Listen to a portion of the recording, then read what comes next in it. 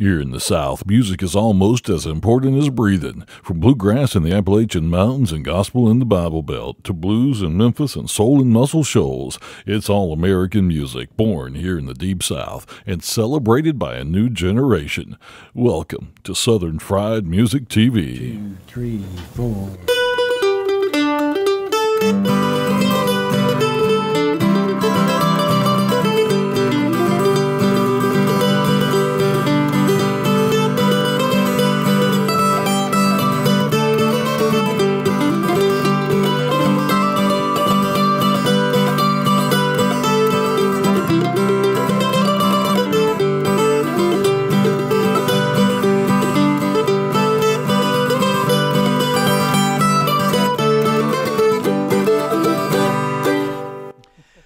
Welcome back to Southern Fried Music TV. We're tickled to death to be here. My old buddy Carl and I. We've been we've been laying some miles down here in the last few weeks, Carl. We have. We have we've doing we've been doing some traveling, but we've got some awesome shows coming up for you. Uh, this one is really unique in that the people that we have on the show that we're featuring this week are songwriters, not necessarily performers, but uh, three men from Nashville, Tennessee that have written thousands of hits and songs.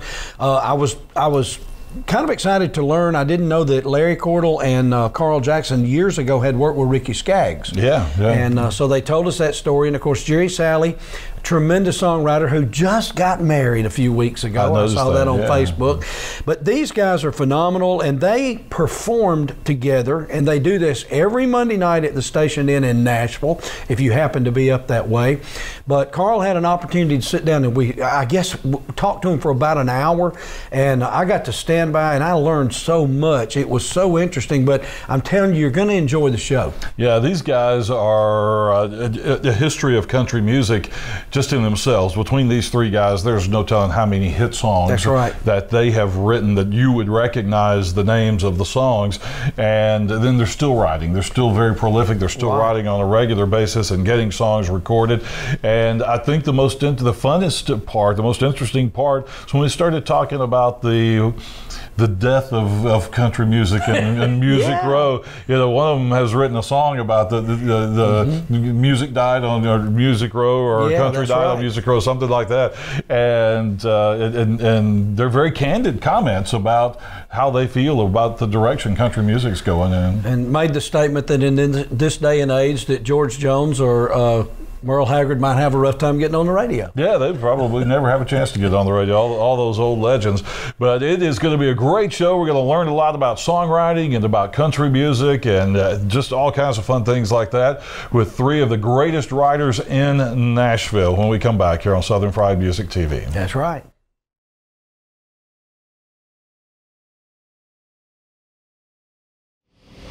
Well, as you know, we've been spending the weekend in Auburn, Bluegrass on the Plains, and I'm uh, proud to have joining me here uh, three of the biggest names in, uh, in country music, bluegrass music, uh, writers. There's not much you guys haven't had your finger on in, in country music and bluegrass music in the past uh, 20 years or so. So uh, proud to welcome Carl Jackson, Jerry Salley, and Larry Cordle, uh, three of the most prolific songwriters. Uh, it- it- it- if we we could you take up the whole show naming hits that you guys have, have written, but uh, just uh, just just kind of catch us up. You guys are doing a lot of stuff together and a lot of different individual projects. You just guys have a lot of things going on. Well, we're always thrilled every time we get to play together. We've been doing it for a long time, and it's a it's an honor and a joy just every time we get to be on stage together, or just sit around and pick together, sit around and visit together. Yeah. These guys are like brothers, and I love them dearly. How did it's- you guys get? How did you guys get to be friends at, in in the business? Gosh, it, it goes back a long way. Jerry and I uh, met through a, a Mutual mutual, pub- friend, yeah, uh, mutual Charlie publisher. Monk. Uh, introduced Jerry and I, and we got together and wrote. And Larry and I met. Uh, he was uh, already writing for Ricky Skaggs.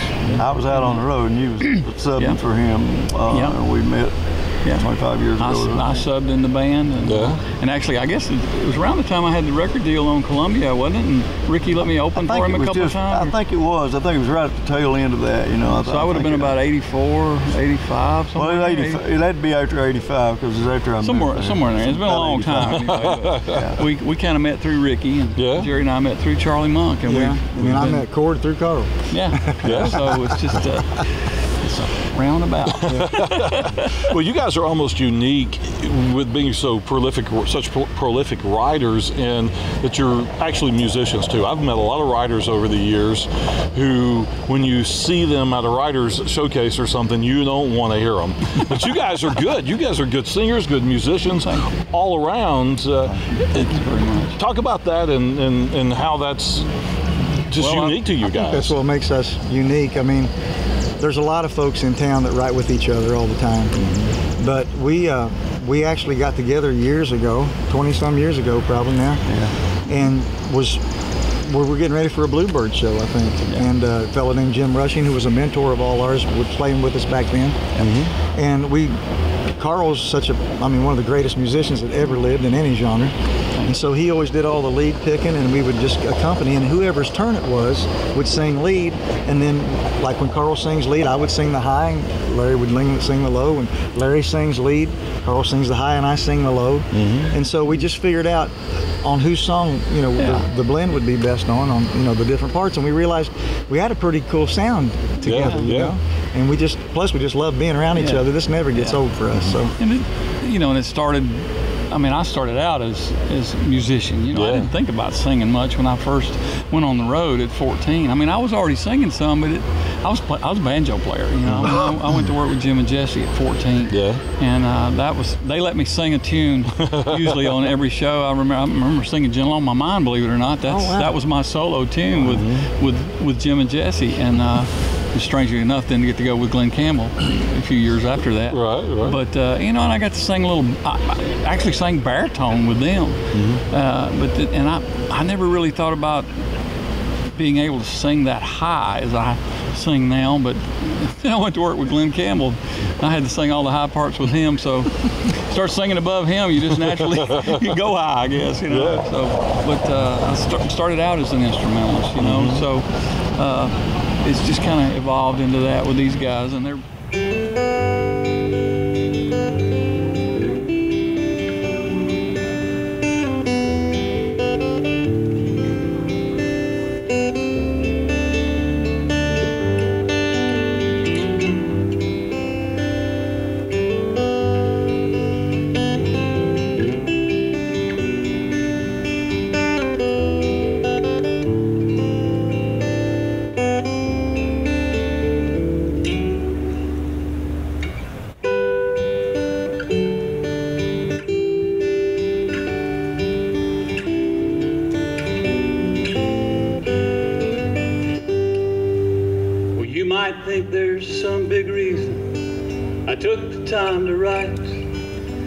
Cards and letters have been too few of those.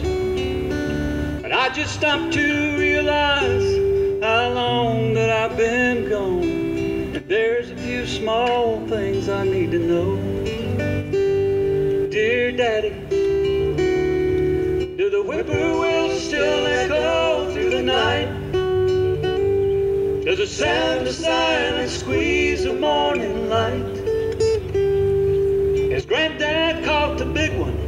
the pond just down the road? I miss you so.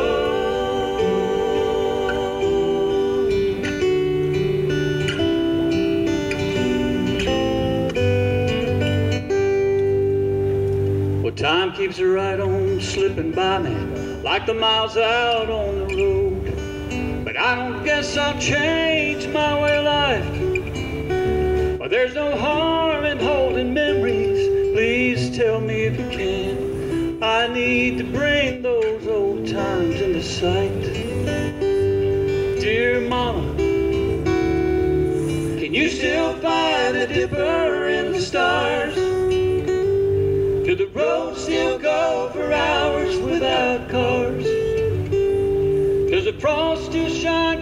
mornings on the grass outside the door. Just like before, tell me more.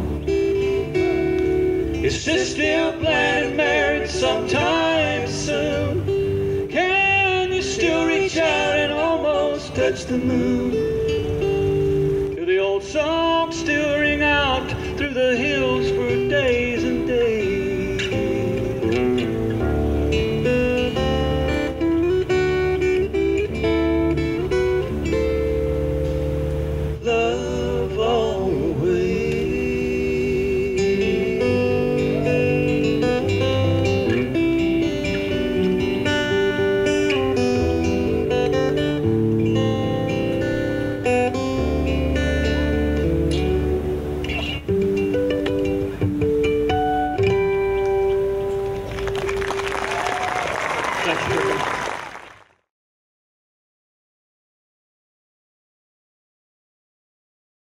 Did, you all set out to be songwriters, or did you just kind of develop the songwriting ability after being in the music, music business for a while? Well, individually for me, I mean, it started out first. Somebody asked me what the first thing I wrote. First thing I wrote was a banjo ins- instrumental mm-hmm. at about 10 or 11 years old, something like that. Mm-hmm. And then I branched off around 14 or so. Probably wrote the first song I ever wrote with lyric. Mm-hmm. Uh, still didn't really think of myself as a songwriter. Got with Glen, wrote a few more things, got the courage to play them for him, and he goes, mm-hmm. "Man, these are good. Let's record these." You know, I want to sign you to my publishing company and so on, and it just kind of fell into place. Mm-hmm. Whereas, and now I'll let these guys answer for themselves. Mm-hmm. I, I started writing songs when I was 16, but I really started out wanting to be a singer. You know, I was performing on stage at 10 years old and doing shows. And uh, my dad played banjo growing up, so obviously I was around bluegrass my whole life. And I, I grew up in Southern Ohio, and there was a guy named Tom T. Hall with us, which was a huge influence on me. He was from Kentucky, where my grandpa was from, and. Um, I grew up listening to his songs and starting to study. I used to, as a kid, I'd write out all the lyrics to his songs to learn them, you know. And I thought, man, this guy really knows how to put something together, you know. Yeah. So that was really when I thought, man, I ought to try to be a songwriter, you know, first from listening to his stuff. But as it all evolved, I mean, I, I my the most performing I do are with these guys. I mean, I do I do some solo stuff too, but I really set out to be. I wanted to come to Nashville to be a star, but I was writing songs all along. And then when I first started having success in songwriting, mm-hmm. I thought, well, I kind of like sitting at home here and writing songs. yeah. So anyway, that's kind of how that happened for me. Lately, Grace hasn't been herself, and he's noticed the change.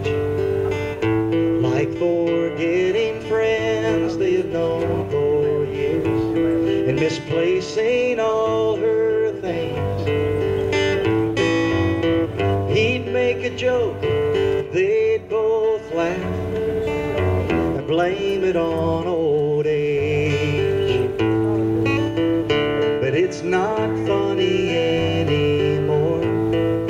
She can't remember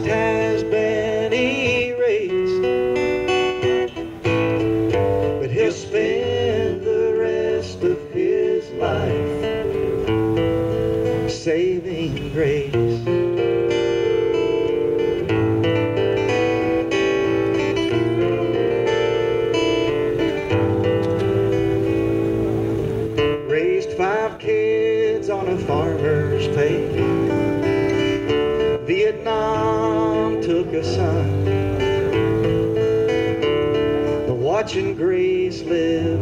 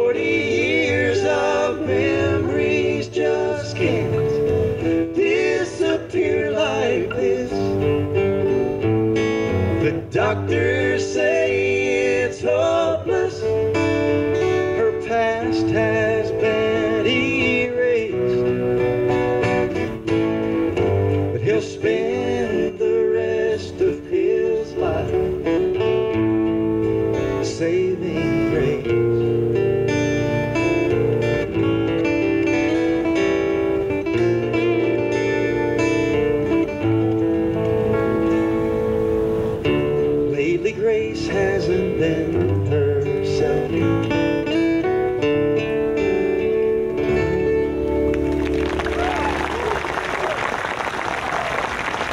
Thank you very much. I was a, I was just pretty much a singer first, I think, you know, but um, sometime in my college years, you know, I really, I really don't really know why. I just, uh, I think maybe because I wasn't getting played quite, quite as much as I wanted to, I started trying to piece songs together from, I don't, I don't have any idea, really. I don't know. I don't know. It just came from me to two or three things that I wanted to try to write, and, you know, and then I, I told somebody earlier that um, I had a little handful of songs. You know, I was, I had a degree in accounting, and I was going to get away from music. I wasn't going to fool with that anymore, but I wasn't going to be very good at that. I found out pretty soon. So uh, I had a little handful of songs. You know, Ricky Skaggs and I were raised a mile apart. And by the time I was back in college, you know, he was he was working around with some big people, Emmy and Willie Nelson, the first one and then another, because he was such a great musician. And I asked him if he'd listen to some of these songs, you know, just just so I'd have a, because people would say to me around at a party or well, why don't you play a song you played over here the other night? You know, but I, so I knew people had asked me for them, but I didn't really know if they were good you know, as far as going to Nashville with them or something, and Ricky, Ricky listened to these things. Said, yeah, you know, that's pretty good. He said, I, he said, I think it was good. He said, if I had a big record deal, I'd be, I'd, I'd be asking you for some of. So,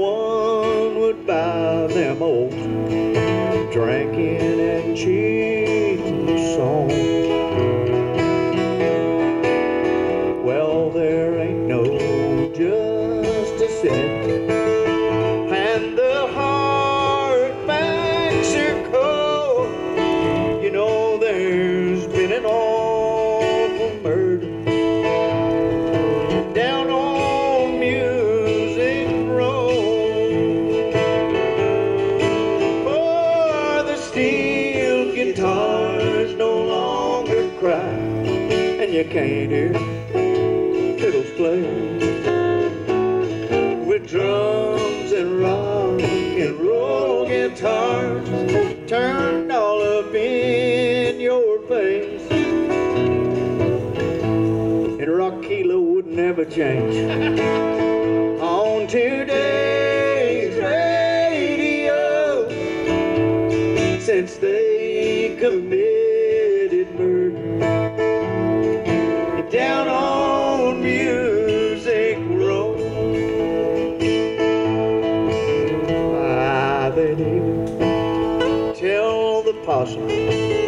to pack up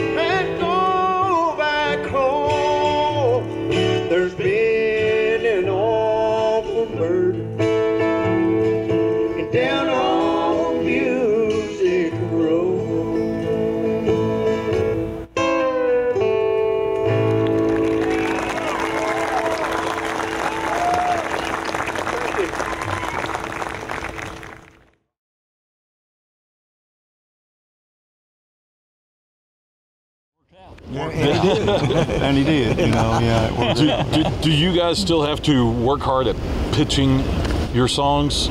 You're out there like a young songwriter, still trying to get somebody to listen to them? Well, it's easier for us to get stuff heard in the bluegrass and gospel world, probably.